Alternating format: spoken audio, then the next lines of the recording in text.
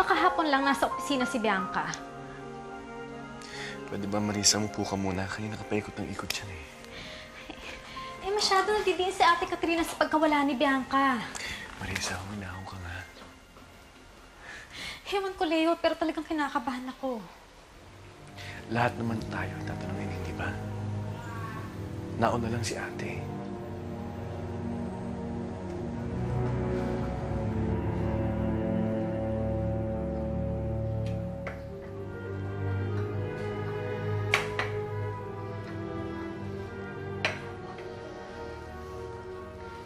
Napakahusay ng sekretarya ni Bianca. Wala akong masabi sa kanya. Kailan niyo ho siya huling nakita? Kahapon, nagpaalam siya na aalis daw muna siya.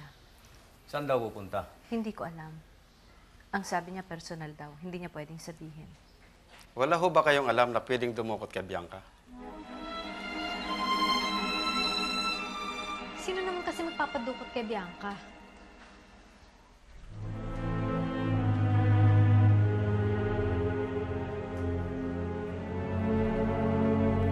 Mga nakausap kami sa opisina. May mga kumakalat na may relasyon ng kapatid mo at si Bianca.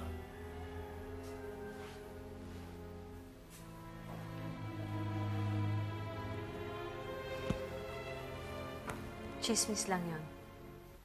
Kahit kailan, hindi nagkaroon ng relasyon si Leo sa kahit na sinong babae.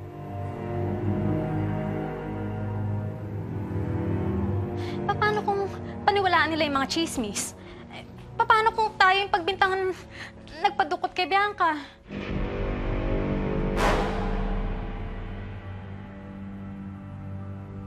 Asawa ni Marisa si Leo. Natural na magselo si Marisa sa pagiging malapit ni Bianca. Walang masama doon. Walang ginawang masama si Marisa. Paano kung ako idein nila?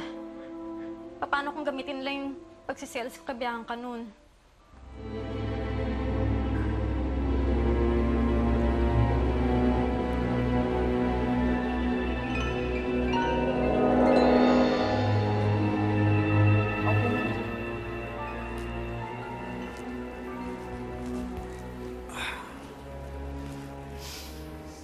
Kilala ko ang hipag ko. Hindi pwede ipadukot ni Marisa si Bianca. Ayus-ayusin niyo pagsasalita niyo.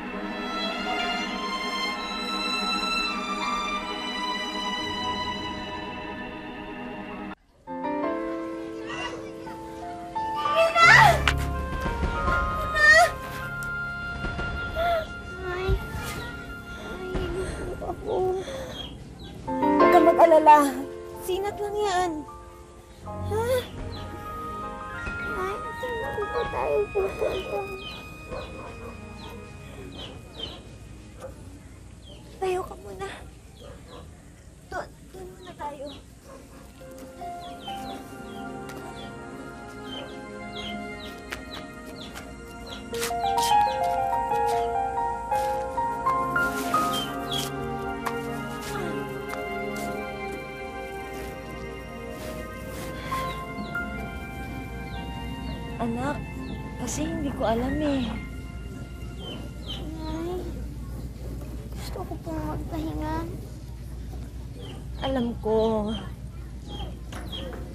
Kaya nga ginagawa ko ng paraan, di ba?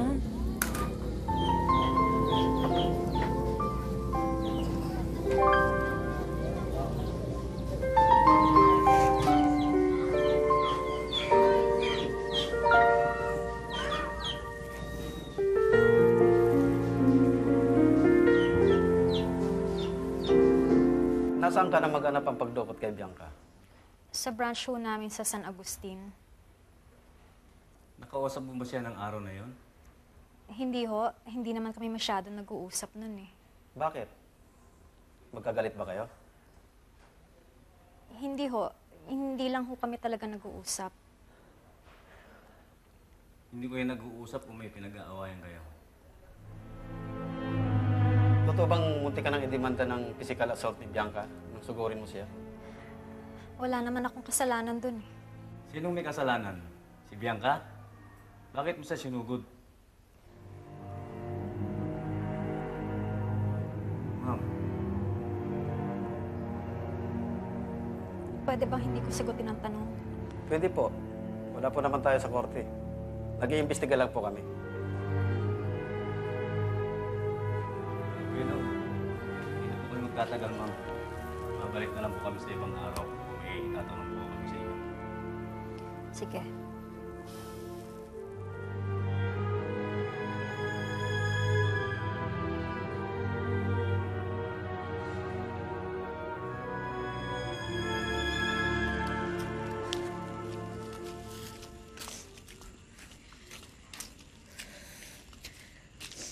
Maupo ka na muna dyan.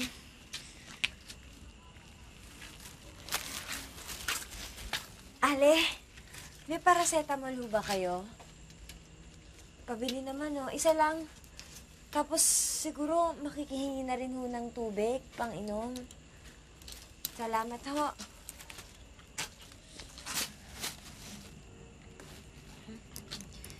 Inumin mo na muna, oh. Ate Bebeng,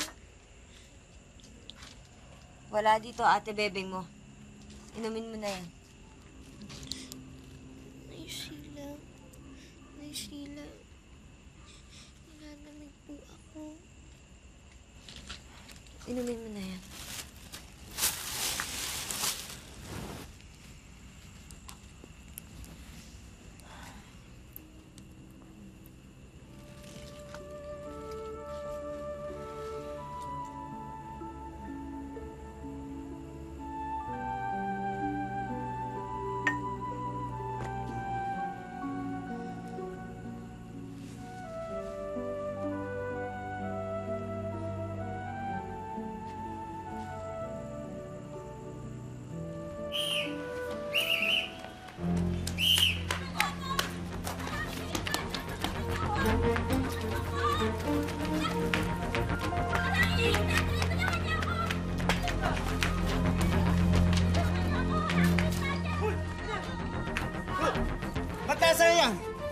Snatcher ka, ano?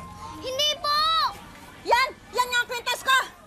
Magnanakaw tong batang to! Wala po akong alam dyan! Ang sama-sama mo! Ikaw lang yung batang yan!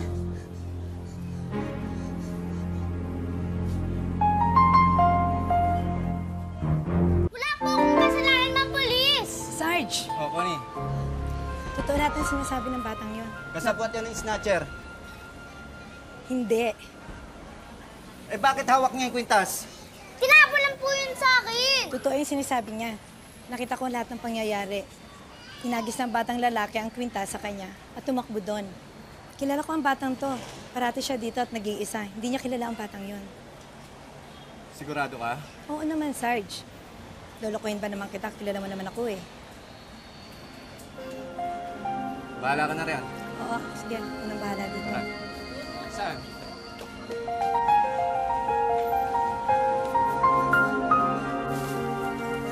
Abel, pasensya ka na ha. Hindi kita agad nasamahan.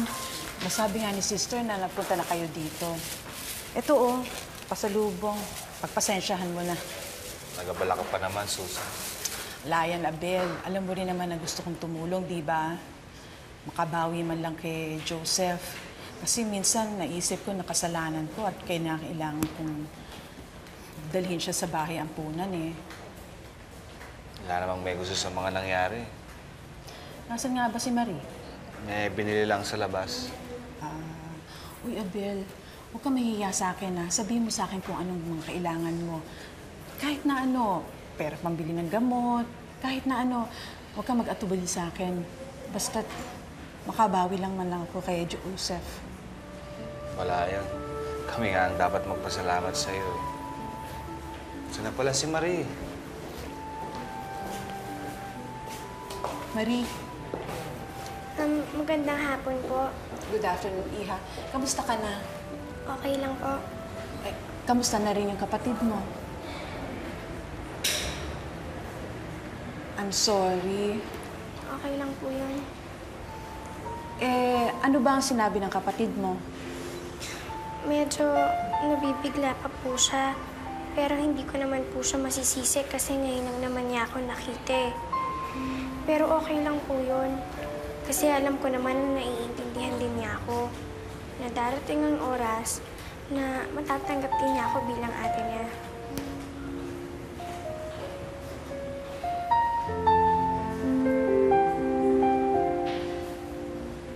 Talaga pwede. Bodan lang ako dito. Sige na naman oh, gabi-gabi na kasi.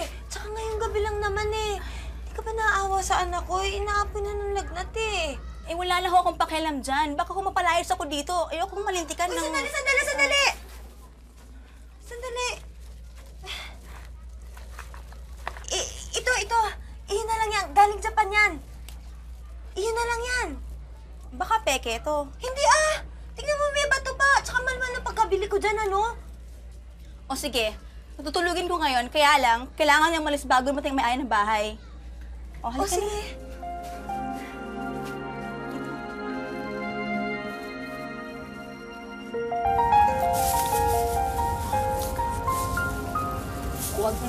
ikwento.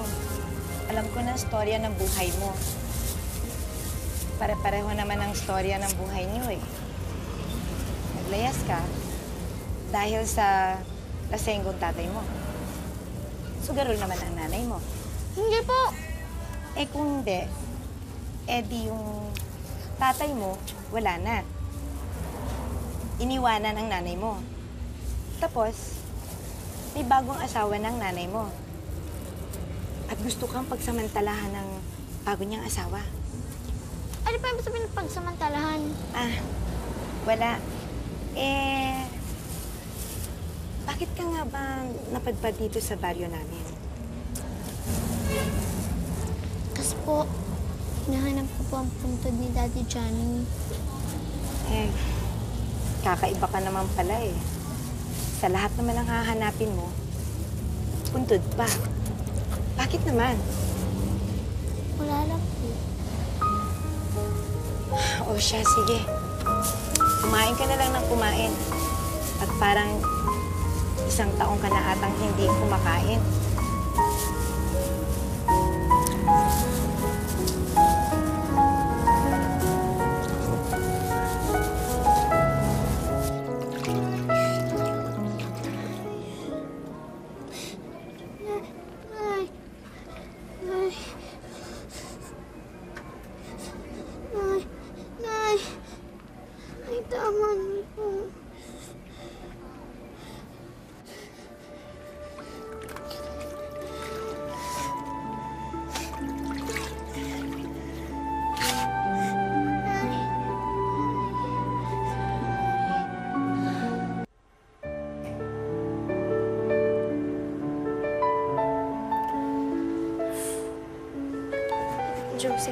Ko to.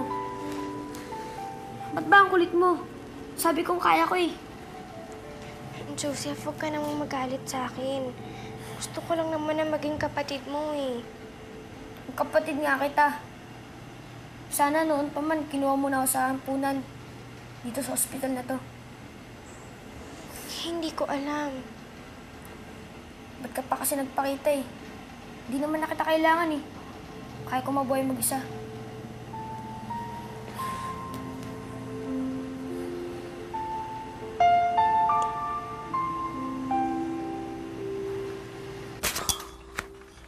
Marie?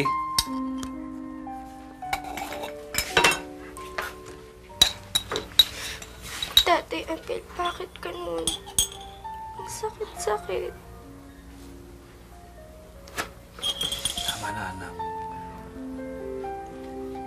Gusto ko lang naman maging ate sa kanya eh. Bakit ayaw niya? Marie, bigyan mo lang siya ng konting panahon. Magkakasundo din kayo. Abel, ayoko mamatay siya. Marie, hindi mangyayari yun. Sabi ng doktor, malala na raw yung kapatid ko. Isang linggo, isang buwan, isang taon. Wala raw makakapagsabi. Anak, alam mo, ipagdasal na lang natin na, na huwag sana mangyari yun. Na, na, na sana humaba-haba pa ang buhay niya. Dati, Abel, ayoko pa siyang mawala. Hindi ko pa siya naiyakap. Hindi ko pa siya nakakantahan bago siya matulog. Hindi ko pa nasasabi sa kanya kung gaano siya kamahal ng inay. At kung gaano ko rin siya kamahal. Marie,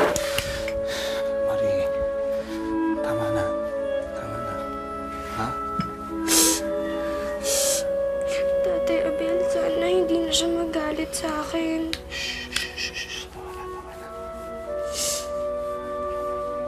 Na hindi ko na ako alam kung anong gagawin namin. Pinuntahan na namin lahat ng bayan dito sa Pesting Provincial to pero hindi pa rin namin nakita si Ella. Anak, huwag ka mawawala ng pag-asa. Eh, nawawalan na nga ho ako ng pag-asa eh. Hindi, ang mahalaga ay gumagawa tayo ng paraan para makita natin si Ella. Eh, siguro naman pag nagtsaga tayo, mahahanap din natin ang bata. Kinakatakot ko lang. Baka kung anong mangyaring masama kay Ella eh. Hindi pa hihintulot ng Diyos yun. Yun nga- Magdasal tayo. Yun na nga ang pinagdadasal ko na yun. Gandang gabi, ho. Gandang gabi naman. Bakit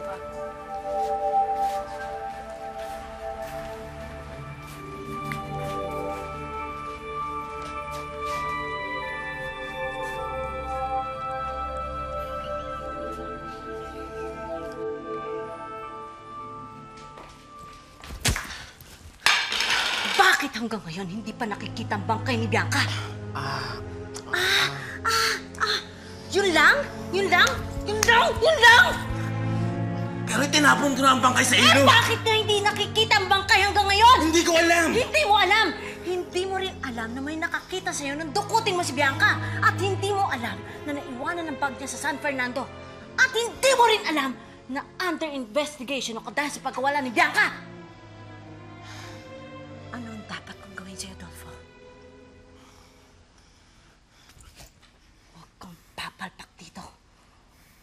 Ayokong mapapalitaan na buhay pa si Bianca. Lumayas ka! Layas! Lumayas ka sa harapan ko!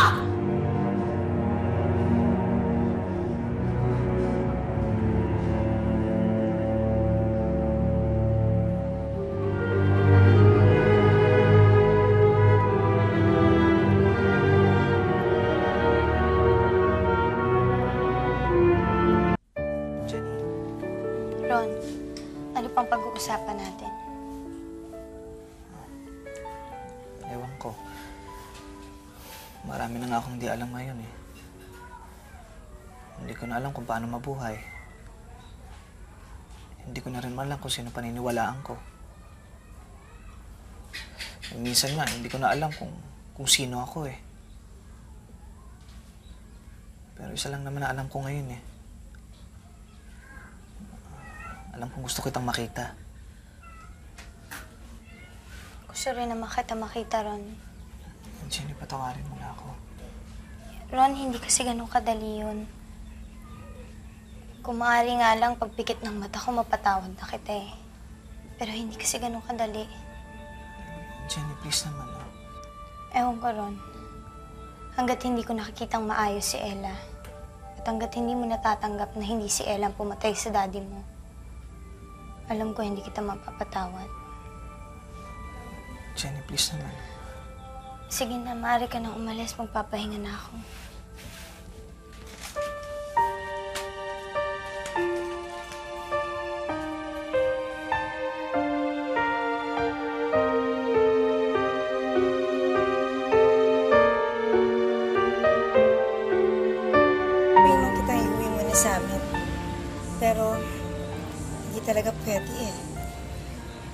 Magagalit ang asawa ko. Okay lang po yun. Kasi po bukas magigising po ako na maaga. Kasi hahanapin ko pa po ang puntod ng Daddy Johnny. Bueno, dito ka na lang muna. Opo. Kailangan na talaga ako umalis eh.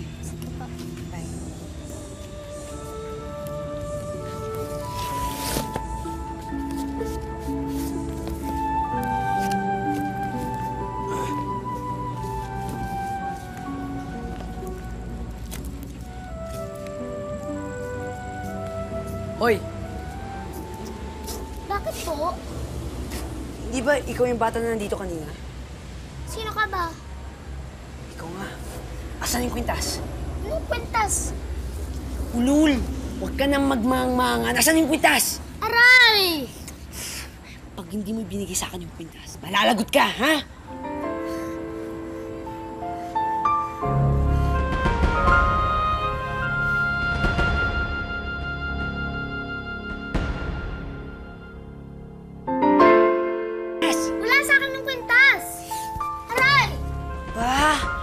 Bago-bago mo pa nandito, siga ka na. Hindi mo ba alam na teritoryo ko to? Ha? Kaya hindi ka pwede matulog dyan. Bakit? Binili mo ba ito? Ha? Hindi ito sa'yo. Tanga ka pala eh, ha? Akin tong buong kanto na to. Eh, di ka pwede matulog dyan. Kaya umalis ka na. Tumayo ka na, bilis! So, bilis sabi.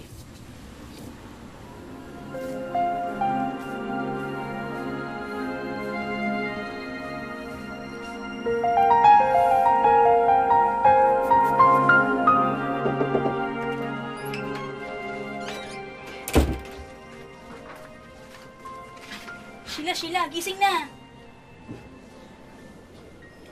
Ano ba? Eh, ang aga-aga pa. Eh, ano ngayon kung maaga?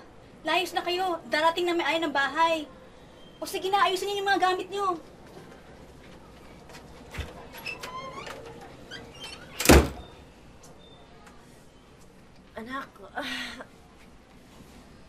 Anak. Gising na, anak. Nay, Kaya mo na ba katawan mo? konti po. Alis na tayo, anak. Saan po tayo pupunta? Sa San Bernardo. Saan po yun? Ikalimang bayan yon mula dito. Bayan yun ng mga magulang ko. Pupunta po tayo sa inyo? Oo.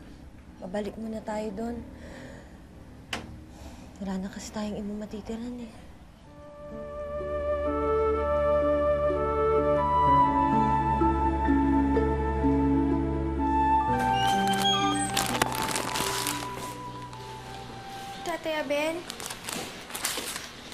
Abel ang kapatid ko.